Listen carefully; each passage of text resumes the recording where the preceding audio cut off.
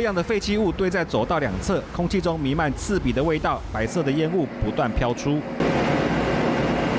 工厂深夜忙着作业，但夜间持续排放废气，居民忍无可忍，里长出面向厂商喊话：你要趁钱的中间，你应该要有个良心道德。这里是台中大理区一家再生能源工厂，厂区外的堆置场满地都是各种废料，有医疗废弃物、塑胶制品、化学泡棉等等，污染空气与水资源。当地民众认为，业者要赚钱，也应该做好防护的设备，但工厂人员出面强调，所有的运作都是依法依规办理。我们在合法的工业区，这里是工业区，不是住宅区，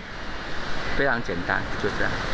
市府表示，只要有违规，绝对会进行查处。在输送带还有还有造粒机还有破碎机的部分，它的气罩是不是有明显不足的部分？那我们也会跟呃我们的稽查大队还有我们呃空造科这边做一个深度的一个联合稽查。如果确实是有违反规定，当然依规定就来做一个呃该开开罚就开罚。时代力量立委陈嘉华要求工厂立即停工，也要求环境部将制造厂房纳入环评的范畴，还要制定相关法规加以管理，还给民众合理的生活空间。华视新闻林建峰、赵英光台中报道。Hello，我是林明瑞，想要抢先掌握最及时的新闻资讯吗？赶快订阅、按赞、开启小铃铛，锁定我们华视新闻的 YouTube 频道。